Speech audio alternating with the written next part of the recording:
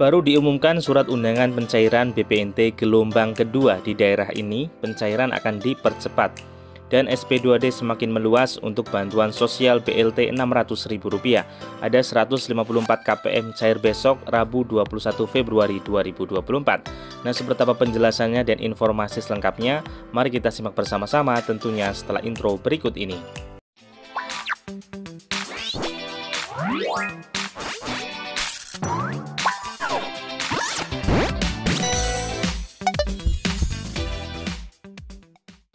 Hai Assalamualaikum warahmatullahi wabarakatuh. Salam damai untuk kita semua dan salam damai untuk masyarakat Indonesia.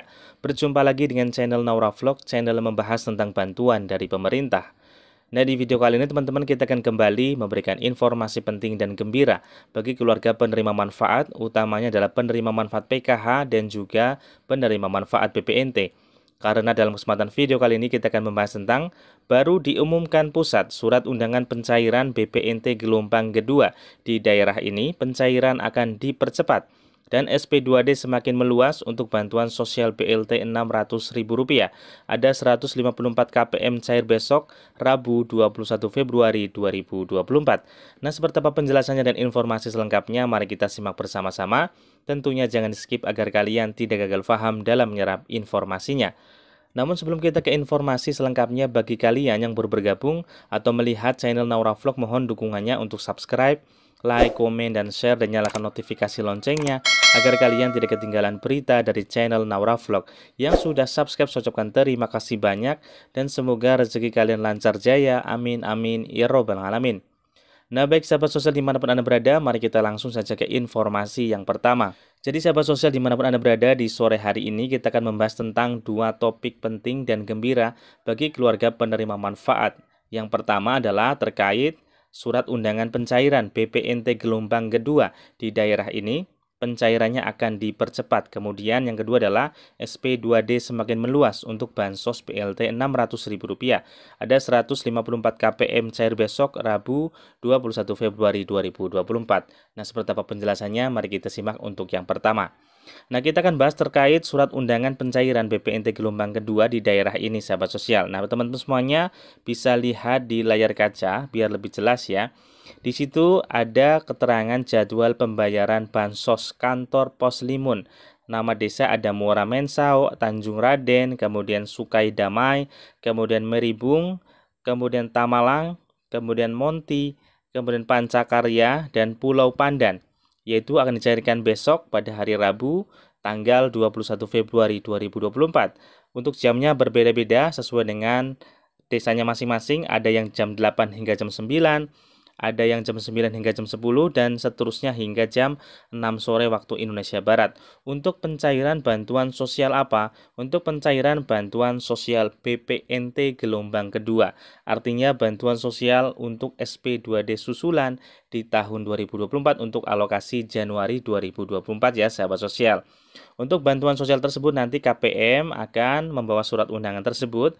Untuk syarat pengambilan yang pertama adalah membawa KTP, KK asli serta fotokopi KTP dan KK. Yang kedua adalah apabila nama yang terdaftar di daftar nominatif tidak bisa hadir, dapat diverifikasi dengan anggota keluarga yang lainnya dalam satu KK dengan membawa KTP asli dan terdaftar maupun anggota keluarga yang mewakilkan. Kemudian yang ketiga adalah jika NIK yang ada di daftar nominatif tidak sesuai dengan KTP, harap melakukan keterangan beda NIK dari kepala desa. Jadi lapor terlebih dahulu apabila ada perbedaan NIK dengan surat undangan.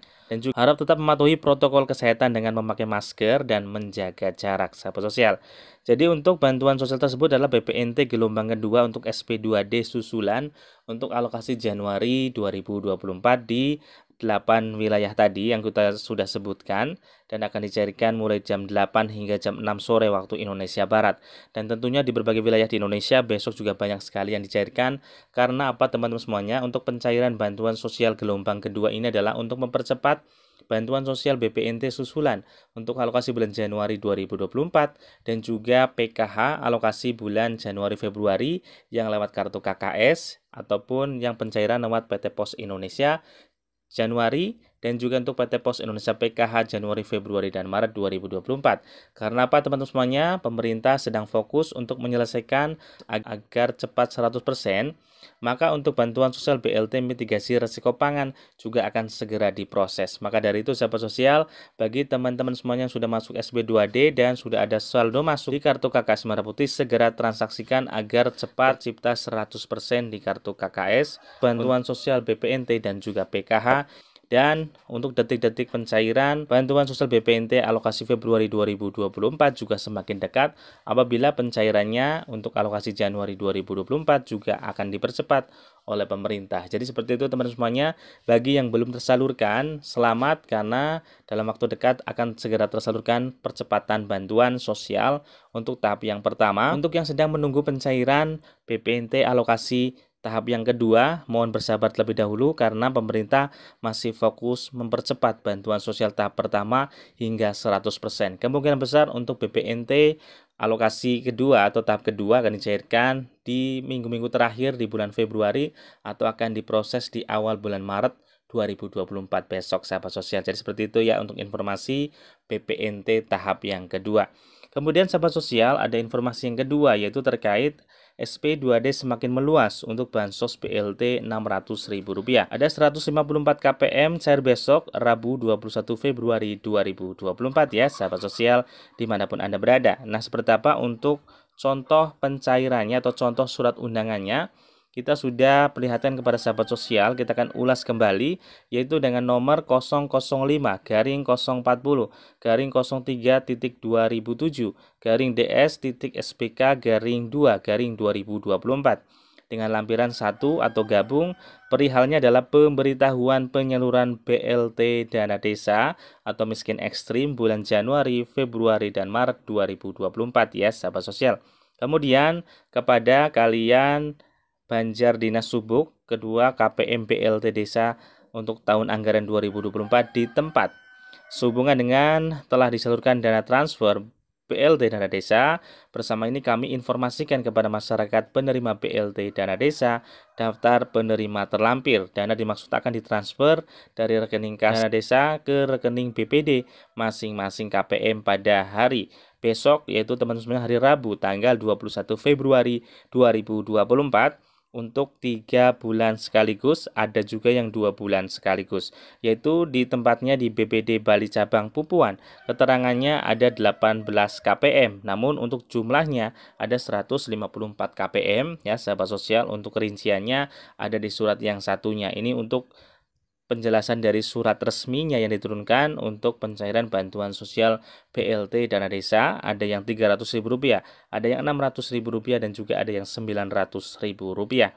Kemudian diharapkan agar KPM BLT dana desa mengambil dana dimaksud melalui Bank BPD Bali cabang Pupuan pada waktu tersebut di atas dengan membawa fotokopi KTP dan buku rekening. Demikian kami sampaikan atas perhatian dan kehadirannya kami ucapkan terima kasih. Nah, teman-teman semuanya, untuk pencairan BLT dana desa ada dua metode. Yang pertama, langsung di titik komunitas, yaitu di kantor desa atau kelurahan.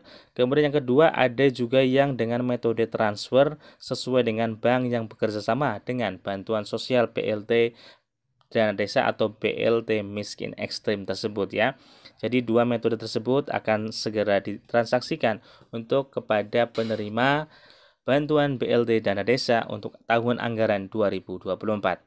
Nah itulah sahabat sosial informasi terbaru terkait dua bantuan sosial yaitu untuk gelombang kedua untuk BPNT dan bantuan sosial SP2D untuk BLT dana desa. Terima kasih sudah menonton videonya semoga bermanfaat. Wassalamualaikum warahmatullahi wabarakatuh.